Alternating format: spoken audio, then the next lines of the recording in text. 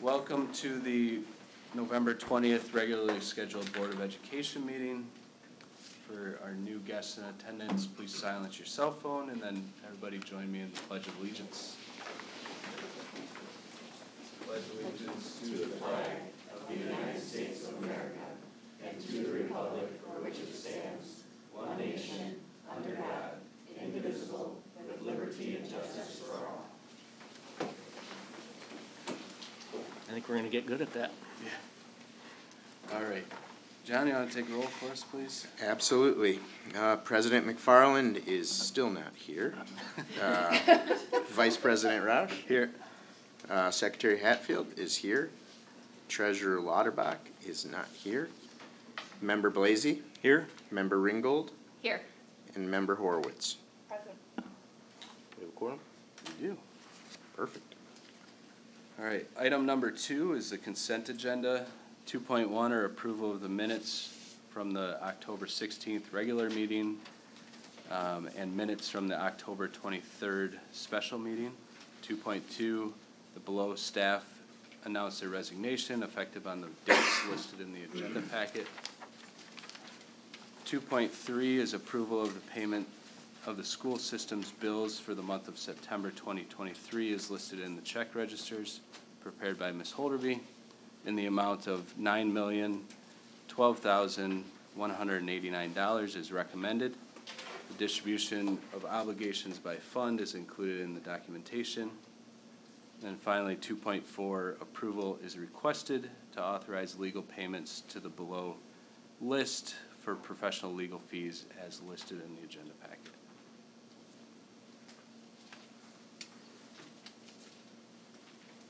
Entertain a motion for approval of the consent agenda.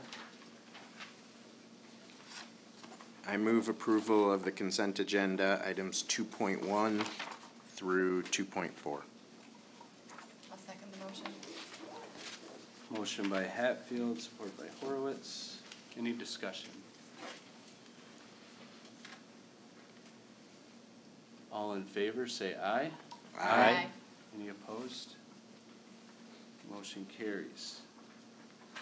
All right, best part of the evening, Penny, Shining Stars.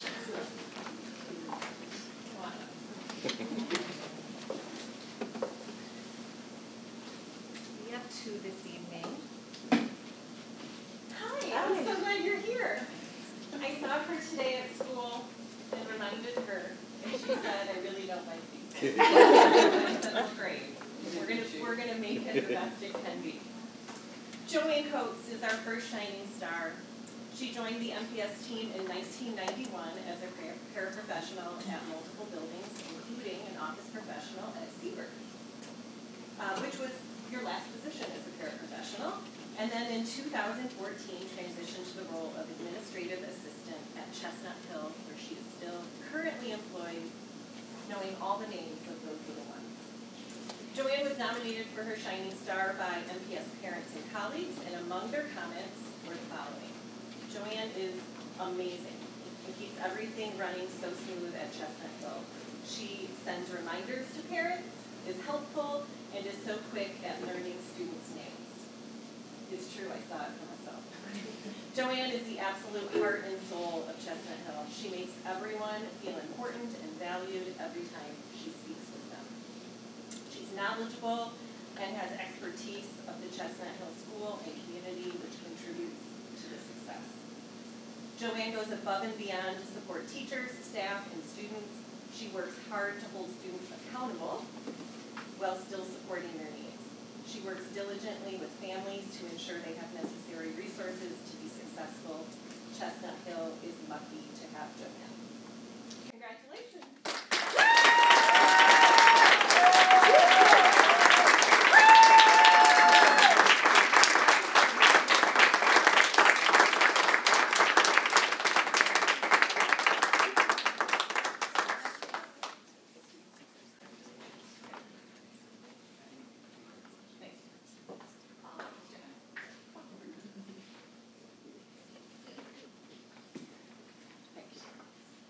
And you can go home now.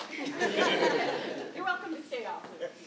We see how we'll hold you in section.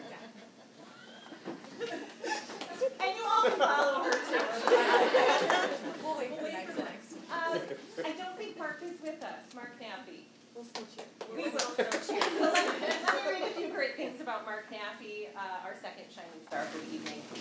Mark joined our MPS team in 1994 when he was hired to teach at Plymouth Elementary. He also taught at Cook and Parkdale. In 2018, he transitioned to teaching math at Jefferson, which is the current position he holds. He earned his Bachelor and Master of Arts from Saginaw Valley State University and a Master of Arts in Library Media from CMU. Mark was nominated uh, for his Shining Star by MPS students. These are always extra special ones, just like yours, students. Mr. Naffy goes out of his way to make math class fun. Mr. Naffy is amazing at making math exciting, fun, it's a great class. Math class was always my favorite because of Mr. Naffy's teaching. Another quote, Mr. Naffy made math class fun, there's a theme here, and interactive. He teaches in a very effective way. He has a fun personality and teaching style. Math was my least favorite subject at the beginning of the year, and it became my favorite because of Mr. Naffy, which says a lot. He is nice, but also strict and serious when needed so that students learn. Congratulations to Mark Naffy.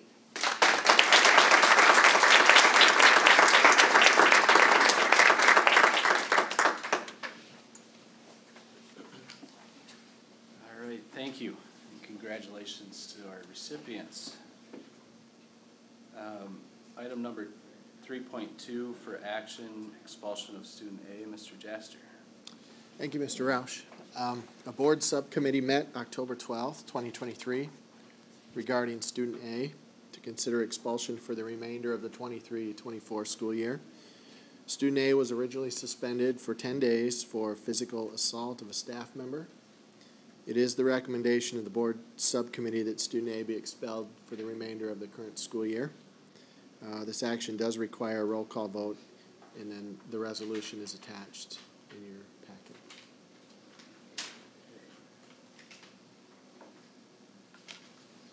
All right, do you wanna call for it? Yep, still need a motion for item three point two. I move to approve item three point two, expulsion of student A. I'll second the motion.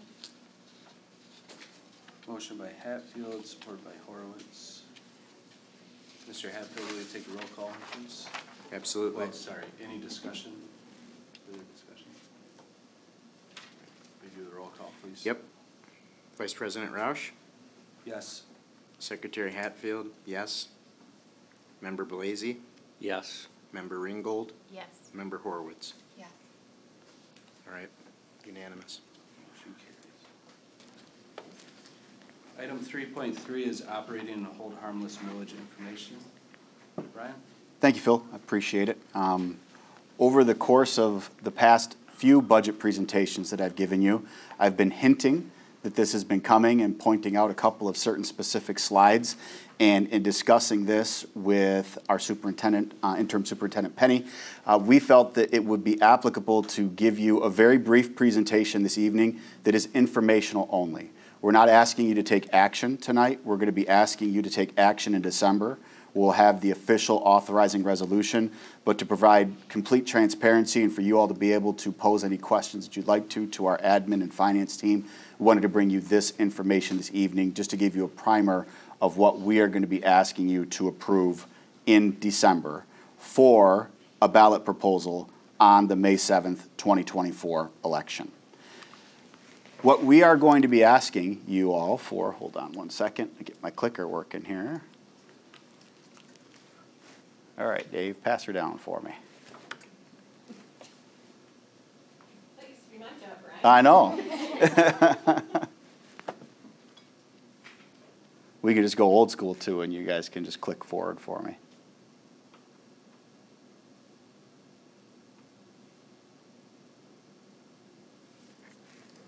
Hmm.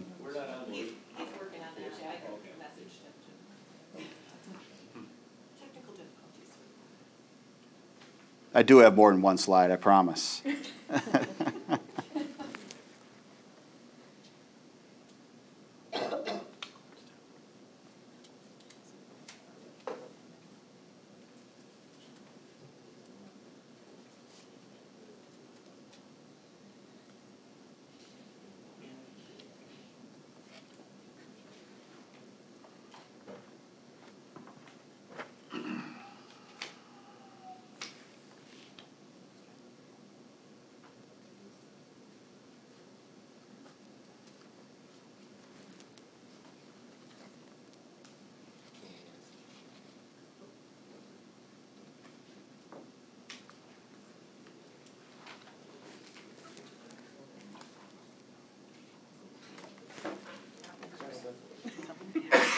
Perfect. Well done. Thank you. Appreciate that. All right, we're back in business. So what we are going to be asking the voters for is to renew our current non-homestead and hold harm, I'm sorry. I'm sorry, we're just working on making sure everybody can see a screen. Okay. Everyone doesn't watch. All right. So we're still waiting. It's for the calendar. We're good. Okay, everybody can see a screen? All right, rock on. Okay. Back to the beginning. Hi, all, I'm Brian. This was the second most exciting presentation of the evening, Behind the Shining Stars. Um, Again, so what we're going to be asking our voters for um, is to renew our current operating millages, which are our non-homestead and our hold harmless millages for a period of 10 years. These have been in place since 1994, and for those of you that have taken your board training classes, know that there is something very important to us called Proposal A, which was passed in 1994.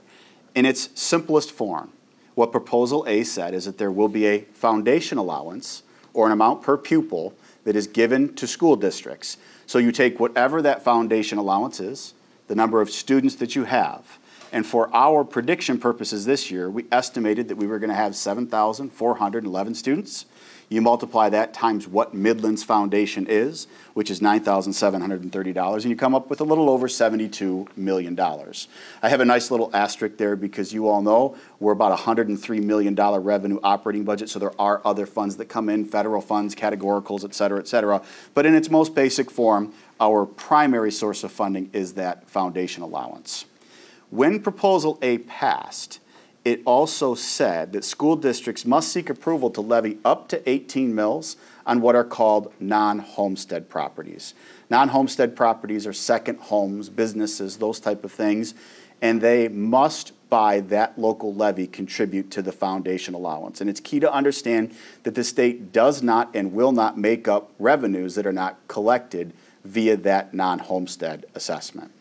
So for our budget prediction purposes this year, again, we were predicting to bring in from the foundation a little over $72 million.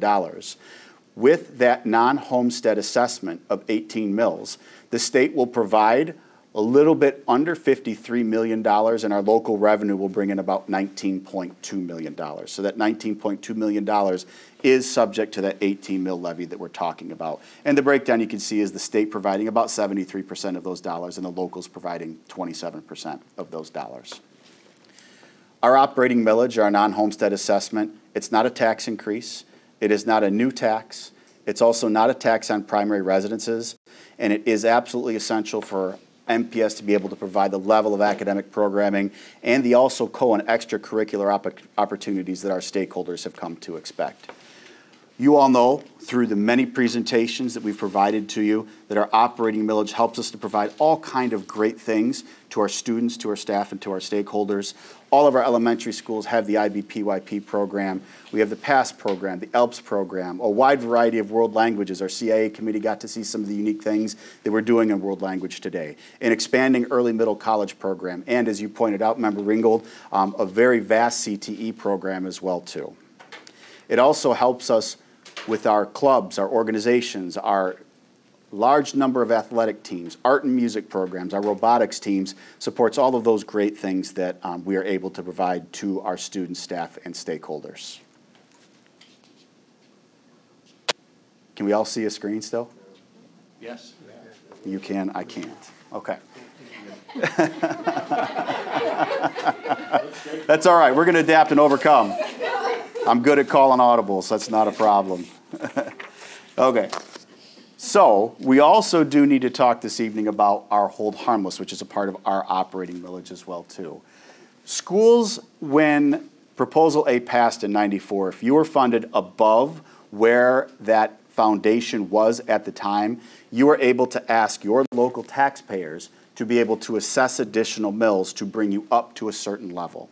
At that time in 1994, there was a magic formula, and that magic formula split out that the Midland Public Schools could collect about $415 above the foundation.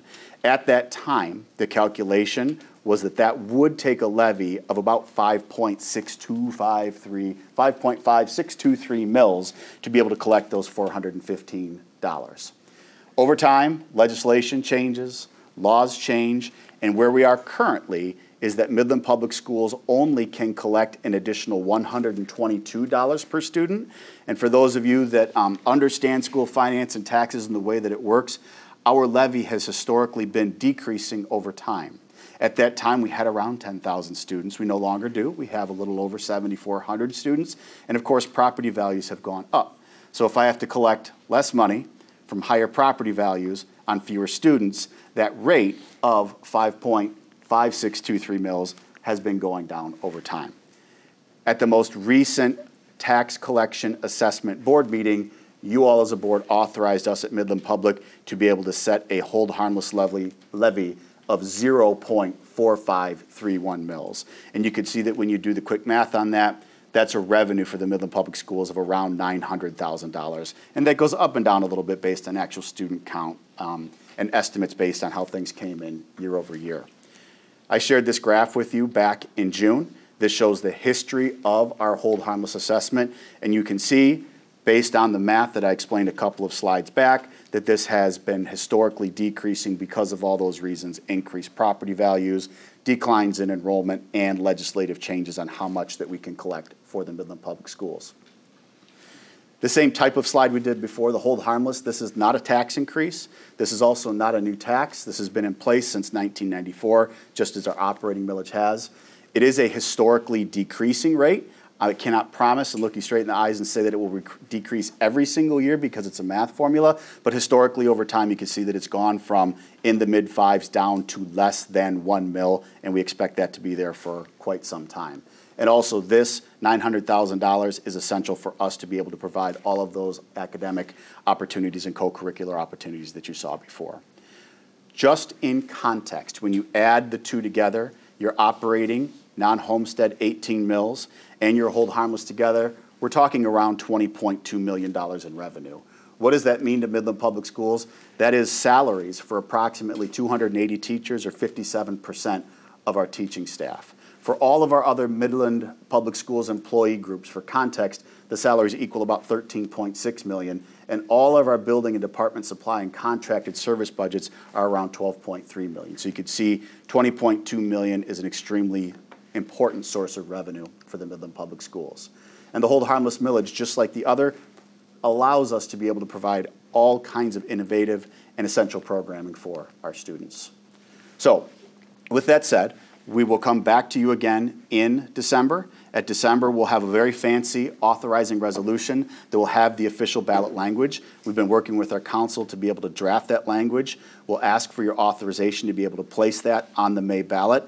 And once we get that authorization, then Sarah and I have a lot of work to do to notify clerks and all of those different type of things as well too. And again, we wanted to provide this opportunity so you had the information in advance. And in December, this didn't come as a surprise to you.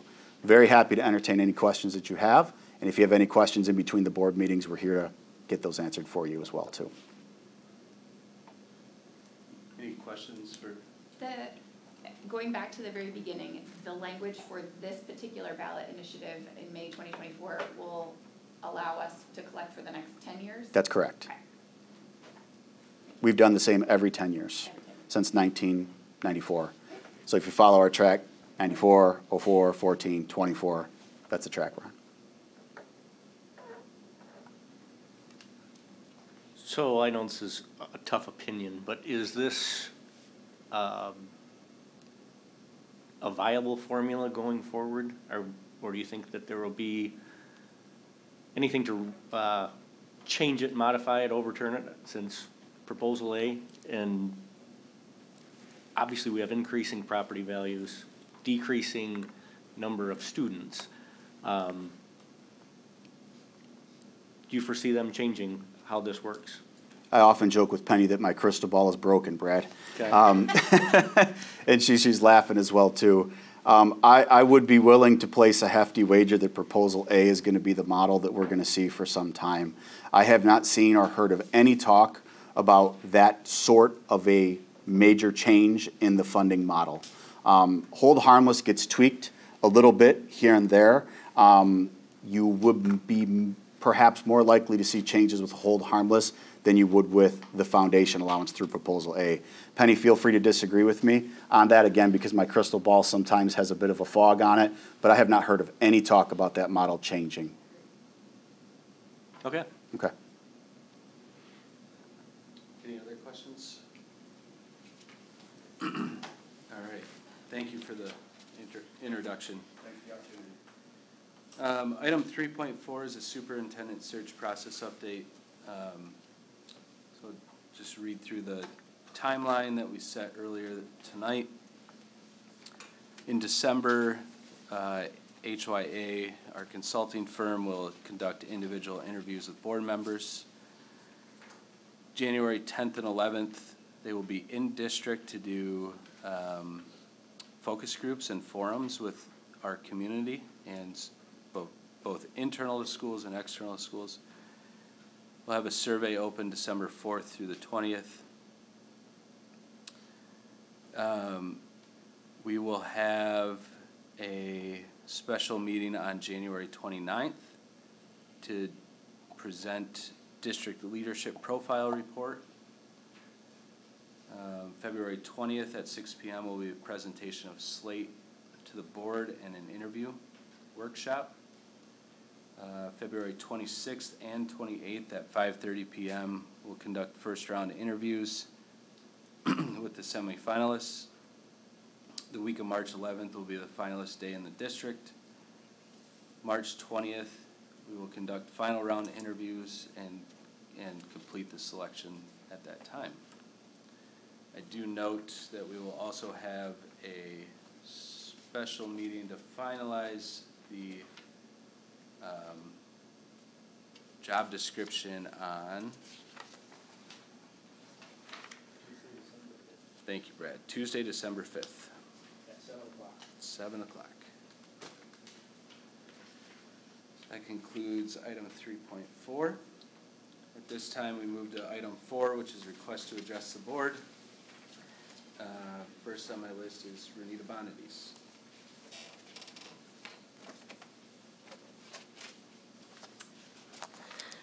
Good evening. I have submitted several FOIA requests over the past two years. There has been a consistent policy of responding with an estimate of fees, and one was actually done for no fee because it was very basic. Once I paid the fifty percent of the estimated fee, the FOIA request was fulfilled, and I would receive another FOIA fee itemization form with the actual fee to be paid based on the hours put into it. I submitted two FOIA requests on October 25th. One was for communications mentioning the special school board meeting on October 10th, and the other was for any documentation that contained archive.org or way back from August 1st through October 25th. Both of these were very specific and simple queries and requests. This time, instead of being given an estimate fee, I was given an actual fee. The hourly rates have gone up by more than 100% since 18 to 24 months ago when I had FOIA requests and others.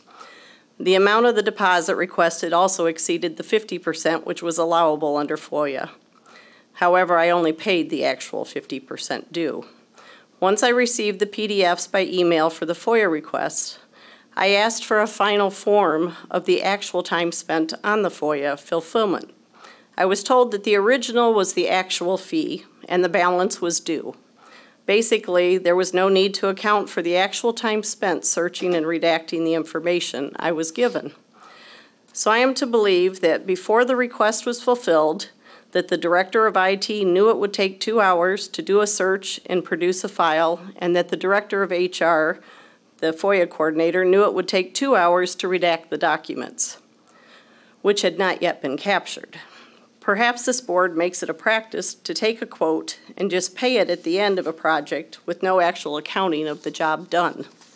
Furthermore, FOIA makes it clear that there is to be an actual accounting of the time spent fulfilling the request, and that the redacting time is to be rounded down if it is any partial increment of 15 minutes. In this case, there were absolutely no redactions done on any of the documents I was given. The majority of these documents were simply form emails sent by a company to everyone on their email list. I also was given a 373-page document which included a search for the word archive.org from the Journal of Applied Learning and Teaching. This document was labeled in my request as a PDF that said document searched and redacted. Why would a public document be redacted? So I paid the $224.22 for this FOIA request, although I- I believe FOIA violations exist. But as previously mentioned during the special meeting, we can take you to court and we have plenty of legal coverage, but your insurance paid by our tax dollars gets used against us. We just want you to do things right. Thank you. Joe Bonadies.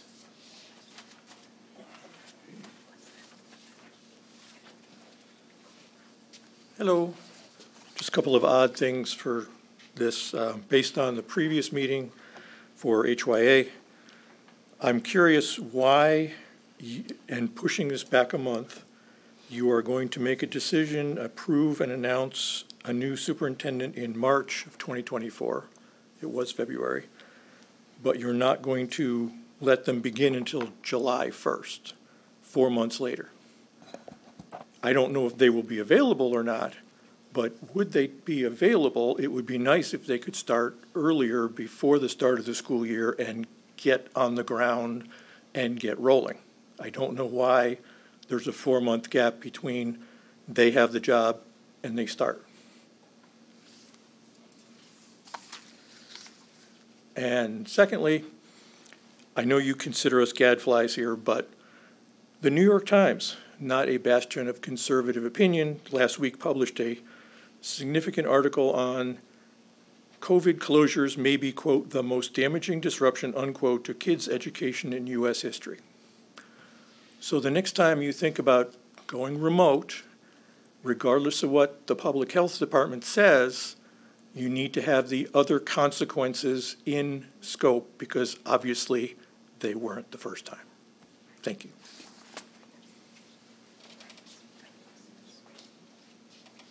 Uh, Bill Domina.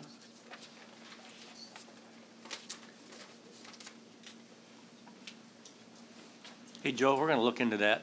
I think that was, the dates were put in for a very specific reason. We're happy to answer that. I think it was to allow the superintendent, if he was in a different district, to go all the way through graduation and finish the year, and then have a transition period, I believe. But we'll check it out. Well, good evening.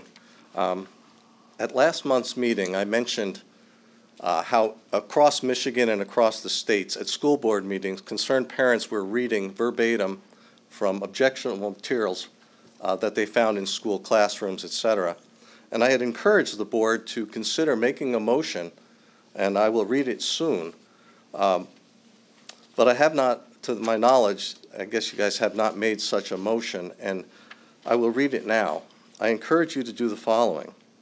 Any book or material in Midland Public School libraries, classrooms, or available via digital means whose content may not be read aloud during the public comment period of any school board meeting shall be immediately removed and deemed inappropriate for the children under the care of Midland Public Schools.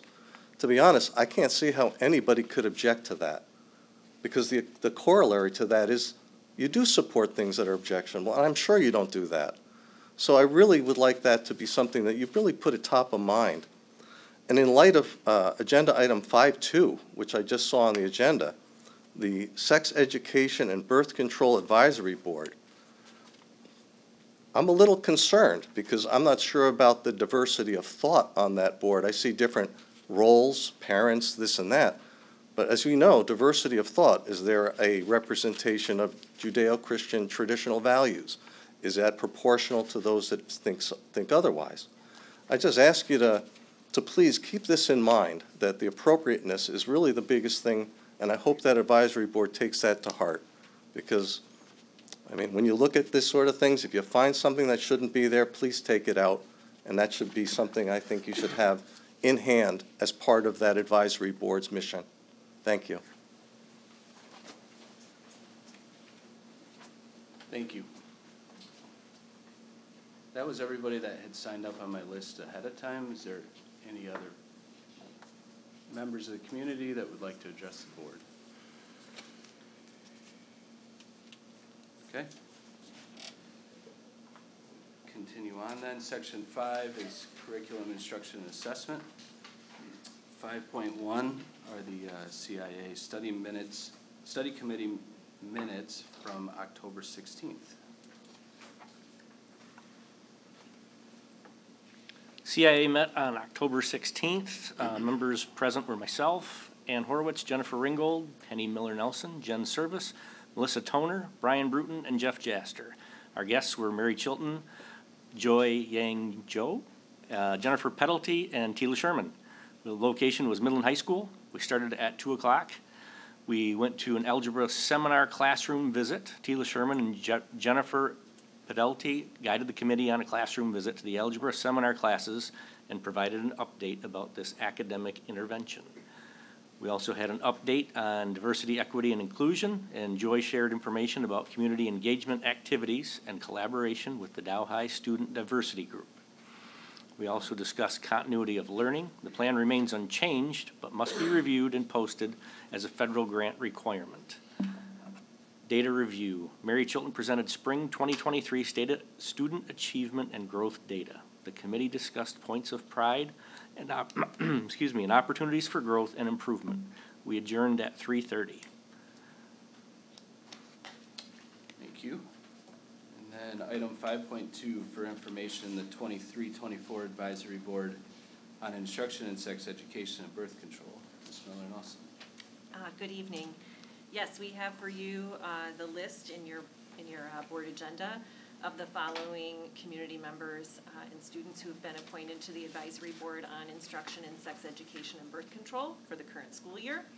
Um, Jen Ringgold, uh, as uh, noted in our organizational meeting, serves as the board liaison to this committee, and Reverend Wally Mayton and Veloshini uh, Barugan, who is our new curriculum specialist, they serve as chairs.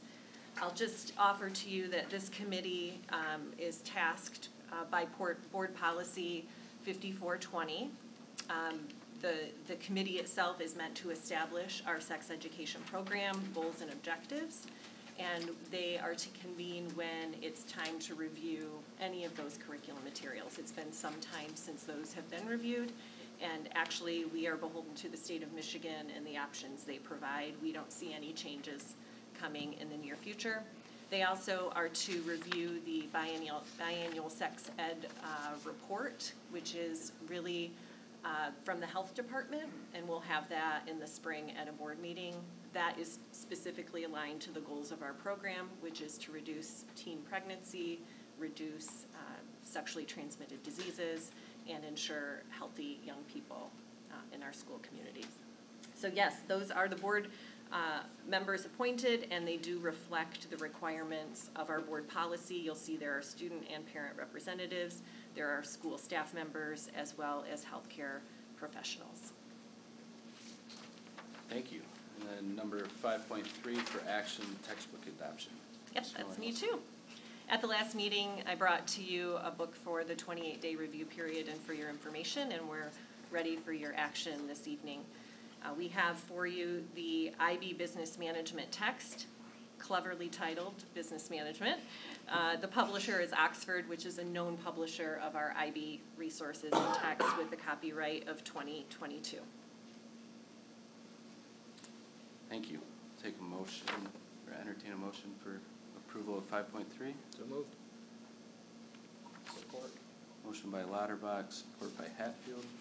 Any discussion? Nope. All in favor, say aye. Aye. Any opposed? Okay, Motion carries. Thank you. Item six is Finance Facilities and Operations. Six point one, FFO Study Committee Minutes from November sixth, twenty twenty-three. Uh, Okay, I'll be reading those. Uh, The committee met on November sixth of twenty twenty-three. Members present were Brad Blasy, John Hatfield, and Scott McFarland, who was filling in for me because I was out of town, Penny Miller Nelson, and Brian Brutin. Uh, Guests present were uh, John McGraw and Luan Wen. Uh, the first item was the East Lawn property, John McGraw and Luan Wen. I believe I'm pronouncing that correctly, I'm sorry if I'm not. From River Caddis provided an update to the committee on the, uh, project scope. September financials were reviewed. Variances from year to year were discussed. Revenue variances were due to the timing of receipt of summer taxes. Bus purchase. Administration will propose ordering six buses. Funds have been allocated from the Series Three bond proceeds. Welding classroom lockers and benches. The administration will recommend the purchase of lockers and benches for the welding classroom at Midland High should sixty-one C funding be made available from the Midland ESA. Walk-in freezer. The administration will recommend the purchase and installation of a walk-in freezer to be installed at Midland High. Food service funds will be utilized if approved. Summer tax collection resolution. The board will be asked to approve an annual request to the city of Midland to collect half the school's tax levy during the summer, summer tax collection period. Salary formula modification. Feedback was sought on potential modifications to the salary formula in place for all affiliated bargaining units. And finally, facility study, feedback was sought on potential content to be presented at the board workshop scheduled for December eighteenth. Our next meeting will be Monday, December fourth at five P M. Thank you, John. All right, item six point two for action, bus purchase. Brian? Thank you. Uh, We have requested pricing. We provided within your packet a tabulation for the purchase of six new buses. This purchase includes two 77 passenger buses that have child seats, two 77 passenger buses that have under storage bins, and two 77 passenger buses that have wheelchair lifts. We're recommending that we issue a purchase order to Midwest Transit of Eaton Rapids, Michigan for the amount of $890,028. And as mentioned in the FFO minutes, Series 3 bonds, bond funds have been set aside for this purchase. Thank you. Entertain a motion for item six point two. So moved. Second. Motion by Lauderbach, support by Ringgold. Any discussion? Uh, we did go through the same normal purchasing channels as we have in the past. Yes, sir. And we have, uh, quite an increase from what we did with our last set of buses, correct? Over the past five years, we've seen a 56% increase in buses. And the importance of ordering them now, just so everyone knows, is so that there's a chance we may receive them. Yes. Last year, we ordered in December, we received them in August, and of course, they have to go through inspection, so we weren't able to deploy. So we're trying a month earlier this time. Um, hopefully that we get them in July and we can put them into action. Um, this also will phase out our backups that are sixty-five passenger, um, allowing for higher capacity. So once we have this in, our backup fleet will then be of the same size. Um, so when we do have issues, which has happened this year a couple of times, we do have similar sized buses. So we're looking forward to getting these in. Thank you. Yes, sir. Any other questions, comments? All in favor of item six point two, say aye. Aye. Aye. Any opposed? Okay.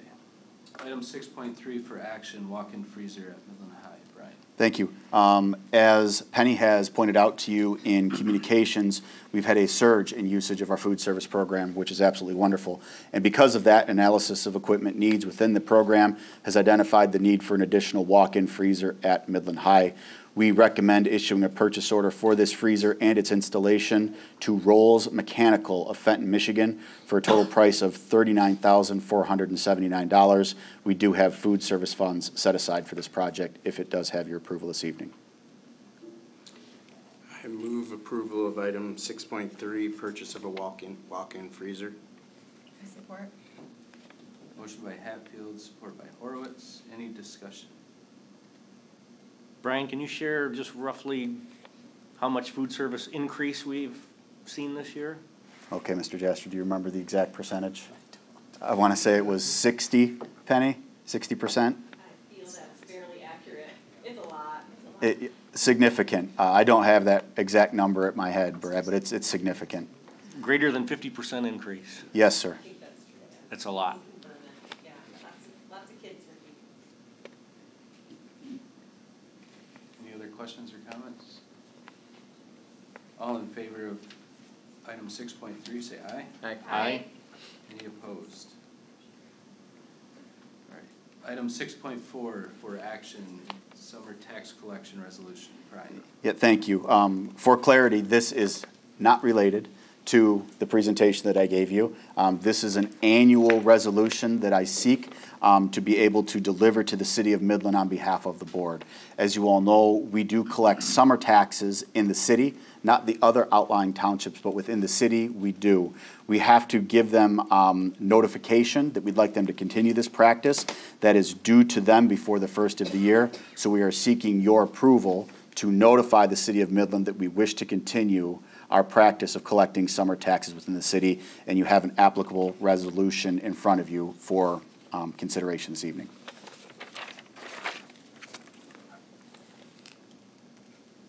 Entertain a motion for item six point four. I move the adoption of item six point four. I'll support. Motion by Lauderbach, support by Hatfield. Any discussion? Does it, does this need a roll call, cause it's? Nope. Taxing. Okay. When we do the official numbers, John, you're hundred percent correct. This is, this is just my ability to send a letter, Got it. so, yep. Thanks. All in favor of item six point four, say aye. Aye. Aye. Aye. Any opposed? Carries. Item six point five for action, welding classroom, Lockers and benches, Brian. Thank you. Um, an analysis of the equipment needs within our welding program identified the need to renovate our current lockers and benches that are used for equipment and personal item storage during class time. Administration, we recommend that if 61C funding is approved by the Midland ESA, a purchase order for this equipment be issued to Global Industrial of Buford, Georgia, for a total price of $22,978.85.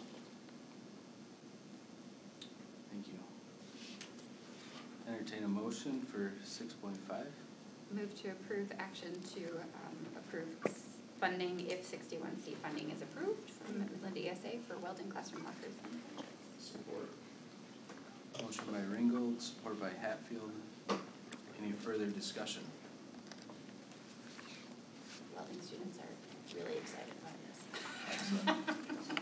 That's awesome. All right. All in favor of item six point five, say aye. Aye. Any opposed? Item carries. Item six point six for action, gifts totaling four, forty-three thousand, three hundred twenty-three dollars. Brian? Thank you. Because of the size of these gifts, they do require board action to be able to accept on behalf of the Midland Public Schools. Um, The first gift was from the Dow High Sports Boosters. That is for a new scoreboard table. That's for twenty-four thousand five hundred seventy-three dollars. From the Dow High Music Boosters Club, support of eleven thousand dollars for various needs within the band. And from Cheryl Potter and family, a gift of seven thousand seven hundred and fifty dollars for Midland High Athletics. We would appreciate your action this evening allowing us to accept these gifts. Move that we accept, uh, item, approve item six point six, gifts totaling forty-three thousand, three hundred and twenty-three dollars. Support? Motion by Hatfield, support by Lauderbach. Any discussion? Thank you. Great big thanks. All in favor of accepting the gifts in item six point six, say aye. Aye. Aye. Any opposed? Six point seven for information, gifts totaling thirty-four thousand, three hundred and twenty-four dollars and thirty-five cents. Brian? Thank you. This is for information only. We would like to express our gratitude for 46 gifts, as you pointed out, totaling just over $34,000. They support a wide range of items and activities ranging from chemistry equipment, athletic items, robotics, and support for Kindness Week. Per tradition, all donors will be recognized in our meeting broadcast credits and also through board correspondence. We remain appreciative for our very generous community. And those four and a half pages total seventy-seven thousand, six hundred and forty-seven dollars in total gifts. The last one. A lot of us. Very generous community. Thanks, Brian, you're off the hot seat. All right, section seven is human resources. Seven point one are human resource study committee minutes from October twentieth, twenty twenty-three, which I'll read. Um, members present were myself, John Hatfield, Jennifer Ringgold, Penny Miller Nelson, Brian Burton, Jeff Jaster, and Karen Justin. Uh, We covered hiring updates. Karen Justin provided the committee with an update on the status of current job postings for both certified and non-certified staff. Item two, recruitment plans. Results from the recent MPS job fair were shared. There was additional discussion around upcoming plans for recruiting. Item number three, contract status updates. Jeff Jaster shared highlights from the recent re- renegotiations of the Midland Federation of Paraprofessional Contract effective July first, twenty twenty-three through June thirtieth of twenty-five. Item number four is the Midland City Education Association Letter of Agreement update. Brian shared the status of the recent LOA discussions with the MCEA. Item number five were legal and legislative update. Jeff Jaster shared a summary of PA one forty-seven that changes the timeline for retirees to be able to return to work in public education. And then finally, item number six was salary study. MPS contracted with Ramberg, Stover, and Associates for the purpose of completing a salary study for both administrative assistant and manager employee groups. The reviews will be completed in early twenty twenty-four. Item seven point two, uh, for information, below staff members have announced their retirement effective on this date. Jeff? Yeah, thank you. Um, Ms. Jennifer Doran, one of our social work coordinators, uh, acronym uh, SSSs, uh, who worked primarily at Central Park in Chestnut Hill, will be um, retiring effective December thirty-first this year. You want, take Yep, seven I'll just continue, yep. Thank you. Seven point three, board and staff extend their deepest sympathy to the following families. First, the family of Ellen Smith. Uh, she passed away October 9th, twenty twenty-three.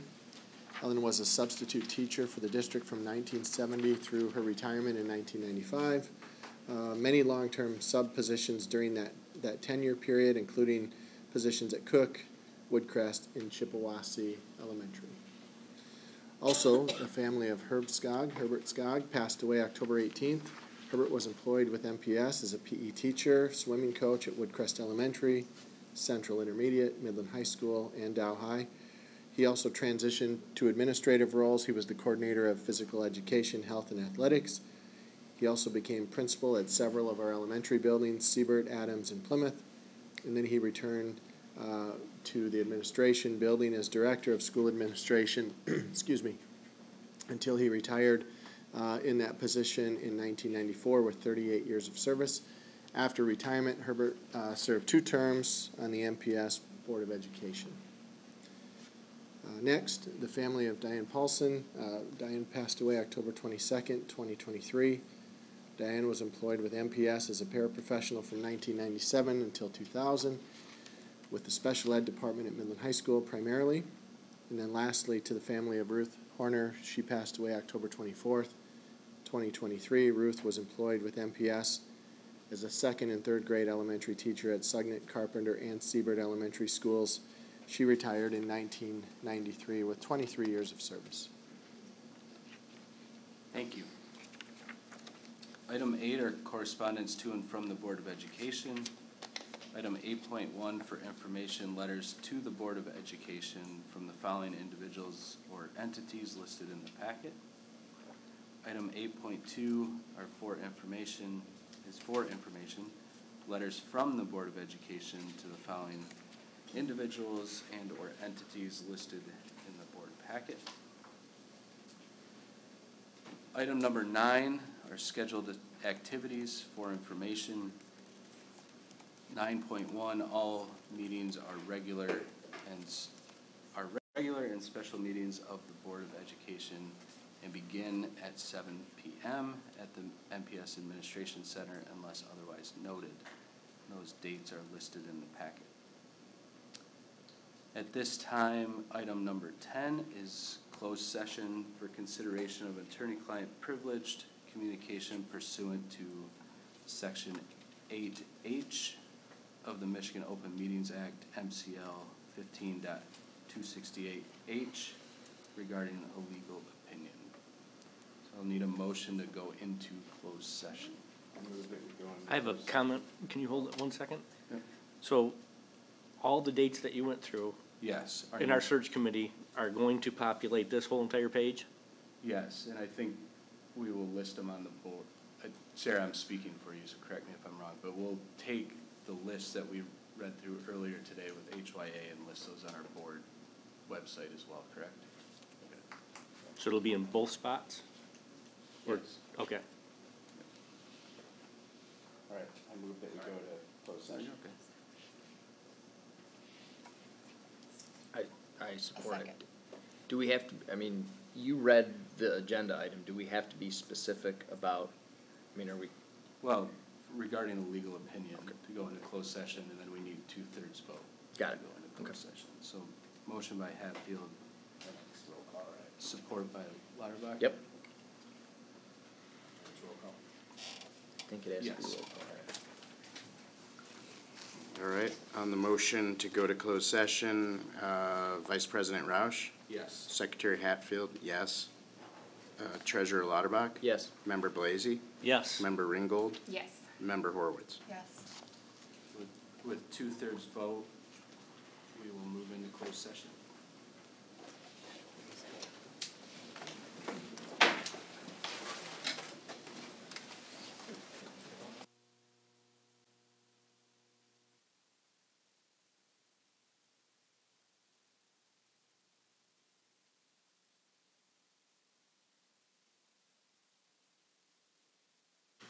So we move back into open session. um, So we're on section eleven of the agenda, stu- study session discussion. Um, I do have one item, which is eleven point one, the Board of Education Officer Nominating Committee. Um, Based on the tally of votes from board members, the twenty twenty-four Officer Nominating Committee will consist of myself, Jennifer Ringgold, and the sitting president of the board, Scott McFarland. This committee will bring the proposed slate of officers for 2024 to the January organizational meeting for board action. Are there any points of clarification? Seeing none. Ms. Miller Nelson? Floor is yours.